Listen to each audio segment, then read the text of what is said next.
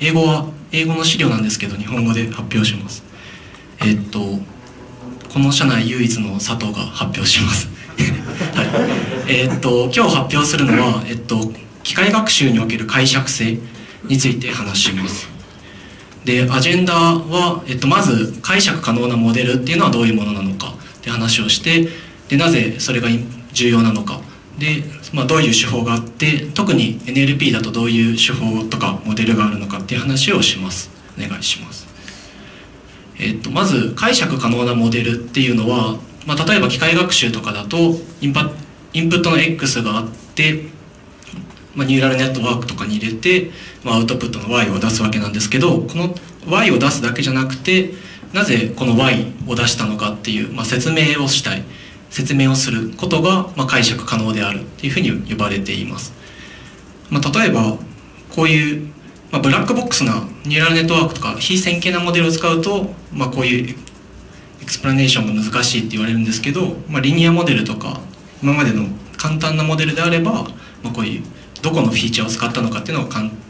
単に出すことができて最近のまあ性能は高いんだけど、まあ、なぜどこのフィーチャーを使ってるのかわからないとかなぜこの Y を出したのかわからない。っていう問題があります。でこの解釈 interpretability interpretability がなぜ重要なのかっていうと、まあ、いろんなアプリケーションを考えた時に重要で、まあ、例えばお医者さんがんの診断とかをする時になんか画像を入れて、まあ、なんかがんの確率とかを出すんですけど、まあ、その時になんかなぜかわからないけどあなたはがんになりますよって言われても、まあ、なんか納得がいかないとかあと、まあ、学習済みモデルをがなぜ間違えたのか間違ったクラスを出力した時になぜ間違えたのかっていうのを知りたかったり、まあ、あとその精度は高いんですけどなんかもしかしたら自分たちが思っている最適化じゃなくて、まあ、違う要因があって最適なんかうまくクラシファイできてるっていう場合もあるかもしれません。であとえっと、まあ、何か今までの知見とは得られなかった今今までなんか人が classify する時には違うフィーチャーを使ってたんだけど、まあ、機械なんかデータを見ると data-driven に見るとこういうフィーチャーが重要そうとか新しい知見を得るために、まあ、解釈性っていうのが重要である。と言われています。で一般的にどういうメソッドがあるのかっていうと、まあ、今回はえっと、大きく3つ紹介するつもりです。sensitivity analysis、まあ、 saliency map とあと mimic models とあと interpretable neural で解釈可能なモデルモデル自体を変えようって話があります。でまず saliency map。これは、えっと、インプットのイメージを入れた時に、えっとまあ、これをなんか犬っていうクラスを予測するもう機械学習済みモデルがあって、まあ、それの出力の y がどこの部分に一番敏感なのかっていうのを、えっと、グラディエントを持って求める手法があります。で、まあ、これはどこのフィーチャーが一番、まあ、なんかこのドックという出力をするのに、まあ、重要なのかっていうのが分かるんですけど、まあ、これいろいろも、えっと、派生版があってえっともうちょっとインプットの画像に対してノイズを加えてそのサリエンシーマップをよりクリアなものにしようとかいろいろ派生版があります。でこれはちょっと画像での解釈性の話で、えっと、多分来週の工藤さんがなんか解釈性の画像版をやりたいって言ってたのでもしかしたらここら辺の詳しい説明は工藤さんに任せて、えー、します。で次、えっと、今のはサリエンシーマップの話でもう一つは、えっと、ブラックボックスなモデルがもうあってその説明するモデル、まあ、リニアモデルっていうものをまあ別で用意してあげようっていうアイディアがあります。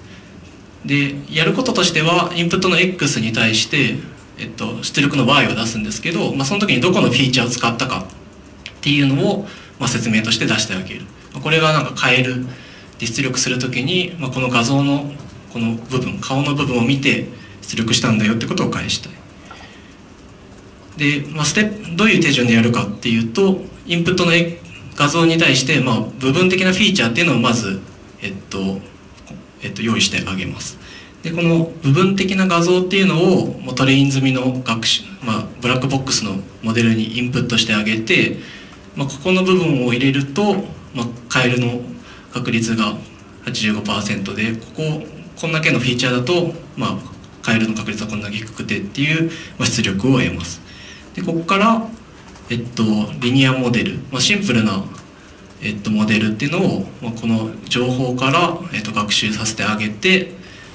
でこのリニアモデルのフィーチャーが、えっと、インプットのどこを見ているのかっていうのを、まあ、ここから説明してあげる。っていうのがアイディアです、まあ、なので実際にブラックボックスのモデルをと等価なものを用意しているわけではないんですけど、まあ、リニアモデルを使うことで、まあ、画像のどこの部分を使っているのかみたいなものフィーチャーが取れるというアイディアです。で最後に、えっと、今までのはブラックボックスのモデルをどう外側から見てあげようかっていう話だったんですけど、まあ、別の視点としてそもそもモデルを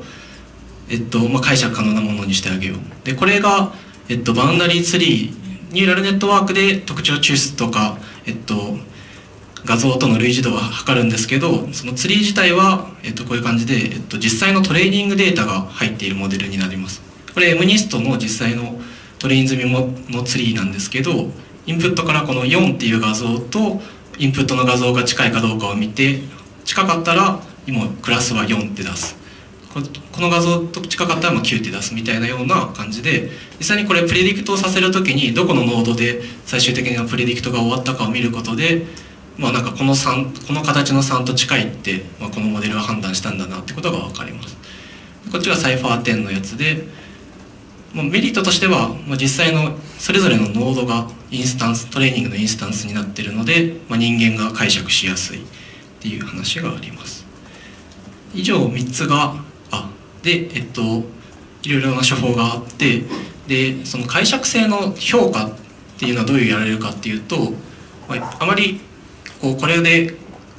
いいっていう処方はないんですけどよくやられるのはえっと実際のその重要なフィーチャーっていうのが分かったらそれを取り除いていった時の、えっと、パフォーマンスの下がり方っていうのを見て、まあ、他の手法よりも、まあ、自分たちのこの手法の方がフィーチャーを削った時に、えっと、性能が下がるのでまあ、いいフィーチャーを取れてるんだろうっていうような、えっと、評価がなされています。また、まあ、人手で実際になんかこれは解釈可能ですかみたいなアンケートを取ったりしてて、まあ、する、えっと、評価方法が一般的です、はい、で今まで見たのは一般的なまあ画像認識とかの手法だったんですけど NLP ではどういう手法があるかっていうのを見ていきます。えー、と大きく分けて3つあって先ほどの saliency map を NLP にそのまま適用したものとあとまあその実際に、えっと、 text classification するときにどこのフィーチャーを使ったかっていうのを明示的にモデリングするものとあとまあ、えっと、LSTM からルールっていうものを抽出してあげようっていうものがあります。で1つ目は、えっと、これはもう全く画像のテクニックを持ってきたものなんですけど text classification でこれがインプットの word vector の次元でこの例えば「I hate the movie though the plot is interesting」っていう文があった時にそのネガティブっていうクラスを吐き出す時に、まあ、どこの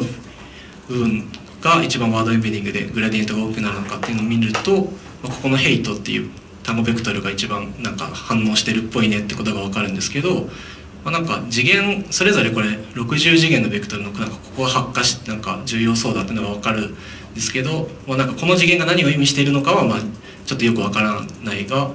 まあ、この単語のどこが重要なのかっていうのが分かるから、まあ、分析できるよねっていう手法があります。で他にも、えっと、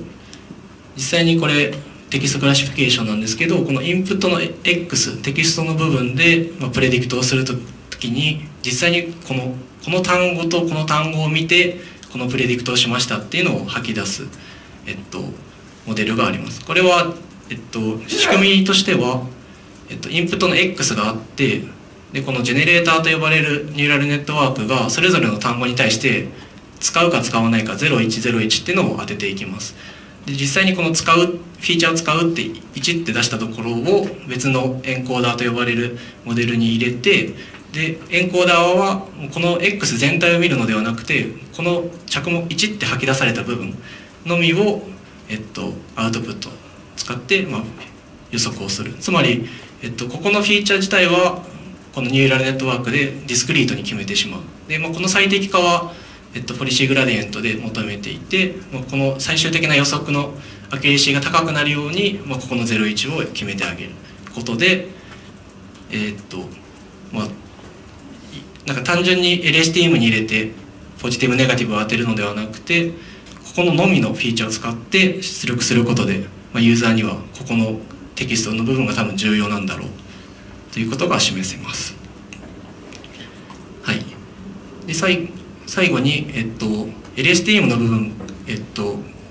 text classification から、えっと、どこの単語が一番重要そうなのかっていうのを、えっと、ゲートの値を見て LSTM の、まあえっと、値を見てこのゲートの値が大きくなったらこの単語の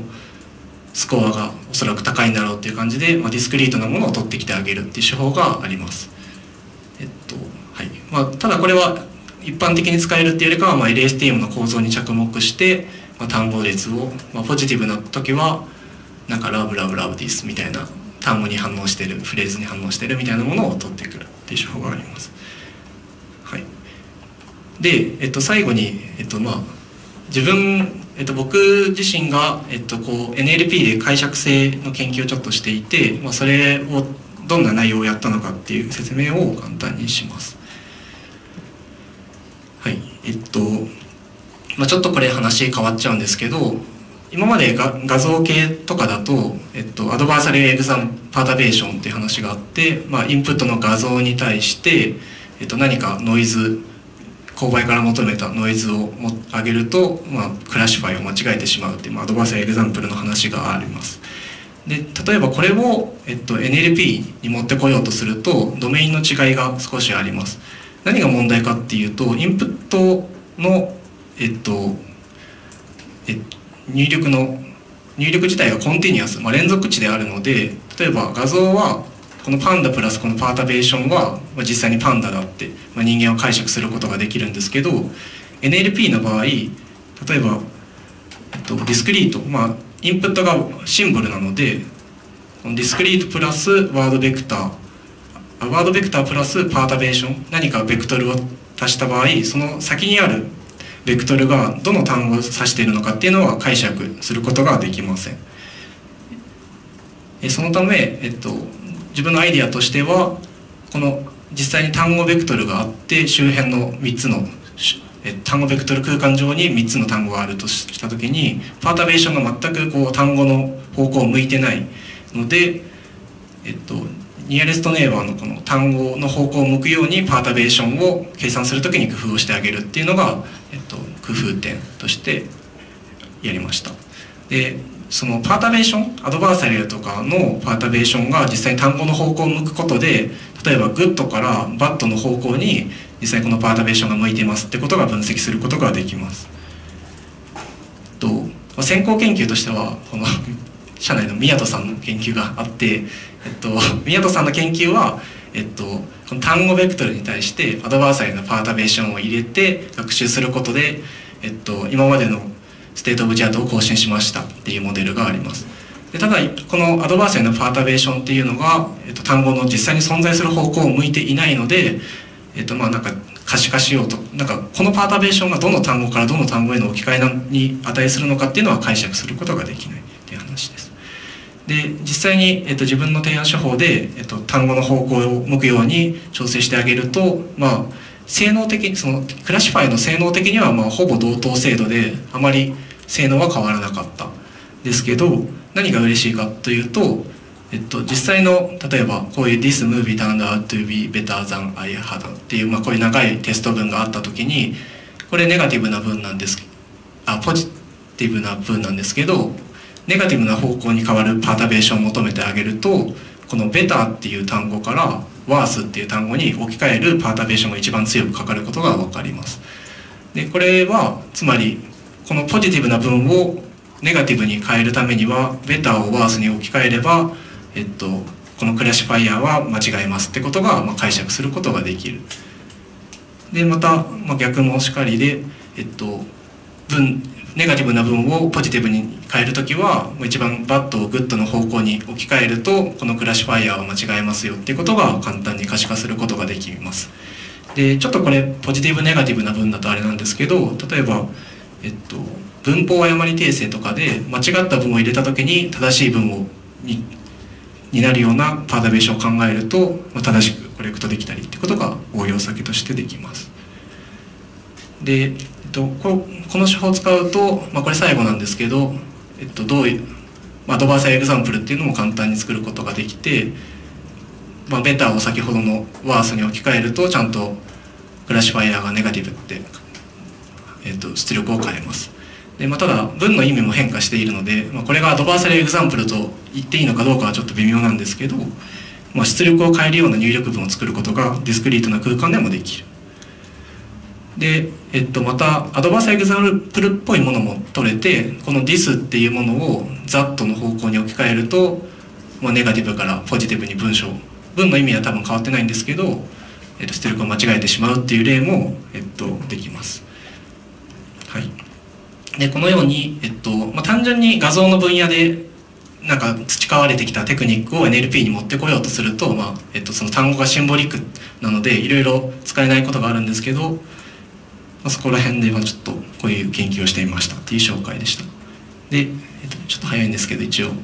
コンクルージョンで。でまあ、いろいろ社会応用が、まあ、機械学習進んでいく中で多分解釈性っていうのが重要で、まあ、いろいろグラディエントを見たりとか、モデル時代を工夫したりっていう感じでそのブラックボックスじゃなくて、まあ、人が解釈できるようなモデルっていうのが研究されてます。でまあ NLP のモデルアドメインでは、まあ、ちょっと画像とドメインその入力のコンティニアスかディスクリートかっていう違いがあるので、まあ、ちょっとそれそこら辺のテクニックを使う時にちょっと難しいこともありますっていう発表でした。はい以上です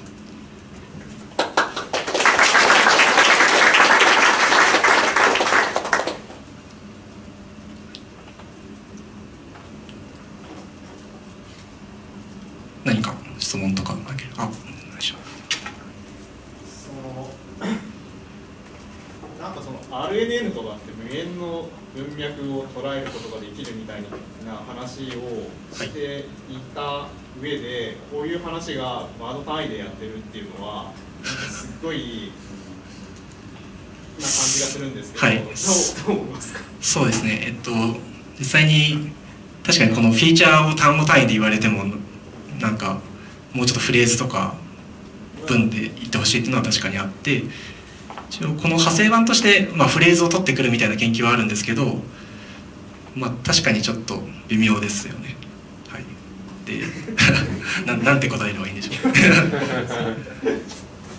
でおそらくなんとなく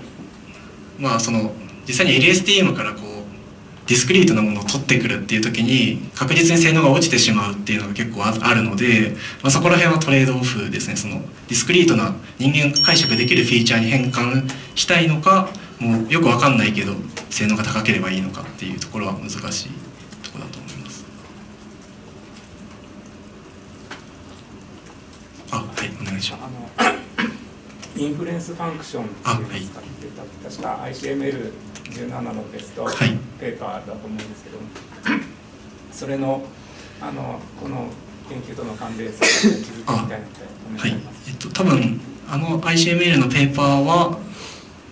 まあなんか部員的にはまあこの多分センシティブアナリシスのまあすごい賢い版っていう立場でいてであの研究では確か画像でまあパータベーションそのアドトレーニングこのトレーニングデータがあると、まあ、性能が悪化するとか寄与するとかっていうのが分析できるって研究だったと思うんですけど、えっと、僕の研究は、えっとまあ、なんて言うんでしょう。画像でそのパータベーションとかやるときに、まあ、単語ベクトルだと解釈できないという問題があるので、まあ、確かに、えっと、その研究との関連性は彼らの研究は、まあ、より画像の方で賢い手法で僕たちは、まあ、なんて言うんでしょう。まあ、関連はするんですけど、まあ、ディスクリートなフィーチャーにディスクリートな空間でどう使えるかっていうのをちょっと応用してみたっていう感じなので、まあ、ちょっとメインが違うって感じですかね、まあ、彼らのやつを多分持ってくることはできると思います、はい、すいません。予測に起用したのはどのフィーチャーなんだかっていうのは共通したあそうですね。それを分析したいっていう感じ、はい、ありがとうございますはいじゃあ以上です。ありがとうございました。